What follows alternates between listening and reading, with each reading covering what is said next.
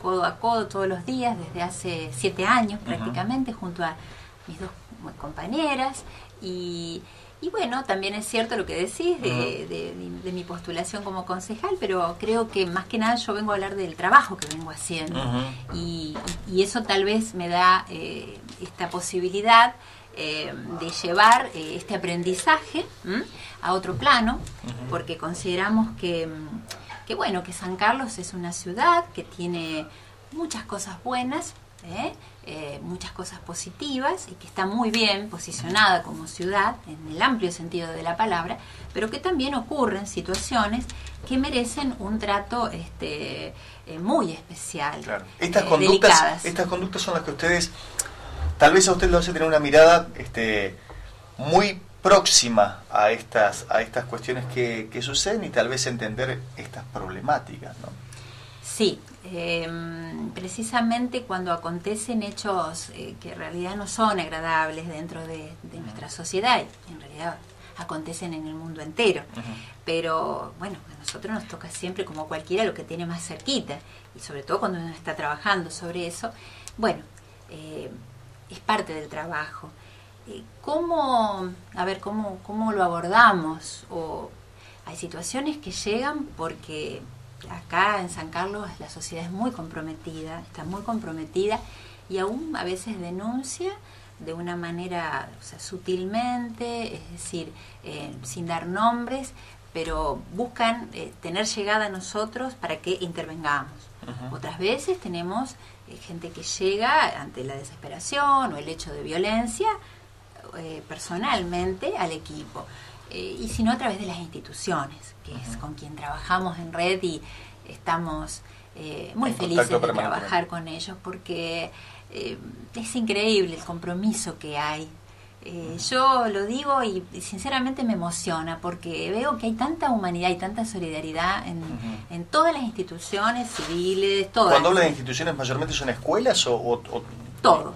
Mira, eh, primero la red está conformada, como muchas veces lo hemos dicho, es decir, con seguridad, que es la policía local, este, justicia, eh, salud, salud que en realidad no voy a dar números porque no, no, no, no vine a dar ningún tipo de números, pero en un 80% más me atrevería a decir de que las situaciones que nosotros abordamos está siempre salud este, pública, eh, este, la gente del hospital eh, siempre desde trabajo social y de todos los órdenes, todos los, médicos, todo, hay un gran compromiso por supuesto las escuelas, no quiero olvidarme de nadie, clubes, este ONG, Cáritas, las iglesias, las iglesias hacen un gran trabajo. ¿Y qué es lo que hacen? Ellos detectan alguna situación de anomalía y se comunican con ustedes. Sí, eh, y ahí está el kit de la cuestión.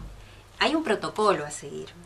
O sea, usted puede decir, esta es abogada, me va a hablar de la formalidad. Bueno, no, la formalidad eh, es necesaria, porque hay una ley, ¿no es cierto?, que acá está, la 12967, la ley de niñez, adolescencia y familia. Después tenemos la otra ley que es de violencia familiar, provincial. Nosotros no podemos sobrepasar este, eh, lo que establece el contenido, las formas de la ley. Pero al estar en, un, en una ciudad pequeña, entonces a veces se hace más fácil, porque levantamos un teléfono, pero igual no podemos dejar de lado la forma. Estamos, bueno, entonces nos llaman por teléfono, por bueno, a ver, acércate, vemos cómo lo podemos. Allí tenemos las reuniones. Si, si es alguien que detectó, o sea, puede ser que fue pesquisado eh, una situación eh, en una escuela, entonces el docente cumple un rol extraordinario. Hay docentes que tienen un compromiso, que a veces hasta es, no sé si excesivo, pero es como que se llevan el problema a la casa también. ¿eh? ¿eh? conviven porque son los que ven a los niños todos los días. Y a veces viene un poco, no sé si el enojo, pero es que claro, ellos dicen, sí, pero ustedes nos ven, pero nosotros el problema lo tenemos todos los días. Entonces hay que buscar la estrategia. Ahora, plan de acción. se detecta un problema. Sí. Hay un protocolo a seguir. Sí. En la escuela, en el hospital, en, la, iglesia y la policía. Se comunican con ustedes inmediatamente. sí. ¿Y ustedes? Y ahí nosotros, en función de eso, hacemos lo que es una especie de Ateneo con las tres disciplinas y entonces empezamos a tejer redes, a ver, bueno, a ver, porque no podemos, y seguramente a veces, en la, si es una urgencia ya es diferente, pero supongamos que no es un caso, hay que saber distinguir si es urgente o no. Y usted mira ahí, pero en esa temática todo es urgente. No todo es urgente. Por ejemplo. Bueno, porque por ejemplo muchas veces ha pasado que me dicen, eh, tal niño eh, tenemos miedo de que esté sufriendo abusos, ¿eh? un supuesto abuso. ¿Y por qué? Y por la conducta que está teniendo. Ah, ¿Y qué conducta? Y porque yo tuve un alumno que una vez este, fue abusado y tenía la conducta similar. Sí, pero son dos personas distintas. Entonces, ahí hay que entrar a ver, entrar en juego a ver. Bueno, salud, nos comunicamos con salud para ver cuál fue el último control, si es salud pública, cuál fue el último control que tuvo este chico, niña o adolescente, este, si va a salud pública.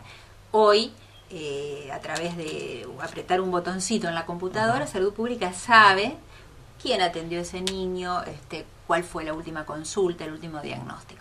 Eso a nosotros ya nos da un panorama, por ejemplo. Si es un niño abandónico, lo he abandonado por los padres porque no lo llevan a consulta, o si va a un privado, nos comunicamos con los, pediatras privados. Todo esto en un estricto marco de reserva. Totalmente reserva. Por eso que es un trabajo que es no solamente es de hormiga, sino que no se ve. Y tampoco pretendemos que se vea, ¿eh? No, no, no. Lo que pasa es que cuando de pronto nos encontramos con que en los medios aparece que hubo dos abusos en un día, o todo, bueno, uno, este, y sí, esas cosas pasan. usted trae un, sí, periódico lo tengo, sí, eh, sí, que, sí. que, lo mostramos y donde tratábamos de contar a la gente, bueno, estas situaciones que, que, a veces se dan y obviamente no se pueden camuflar. Bueno, la víctima, en estos casos de abuso, que son niños o adolescentes, eh, ¿qué ocurre? Eh, va a ser protegida por, eh, nosotros lo vamos a trabajar, somos primer nivel de, este, de lo que es la subsecretaría de niñez eh, provincial. pero nosotros también tenemos, desde el municipio, se firmó el año pasado ya, no, recuerdo en qué mes, este, un convenio de colaboración con el Ministerio Público de la Acusación que no es poco eso. ¿eh? Acá este, estuvimos con el fiscal general y tenemos un fiscal regional que nos corresponde por jurisdicción Esperanza, donde permanentemente cuando, cuando ocurren estas cosas, porque supuestamente hay denuncias que se hacen en sede policial, nos llegan primero a nosotros. Entonces, eso se la policía los traslada, si hay menores, a, la comisaría de la mujer a Esperanza, ahí son recepcionados por también especialistas, psicólogos y todo lo. Y luego eso va a llegar a nosotros. Es un circuito. Pero en el mientras tanto, a nosotros ya nos va llegando algo de información y ahí tenemos que ver a dónde estamos parados, a ver eh, cómo es esa familia, ah. de qué viven, si hay... Y es lo más difícil. Porque cuando es intrafamiliar este tipo de delitos o situaciones, ¿cómo uno puede, además, con qué derecho uno puede introducirse dentro de una familia?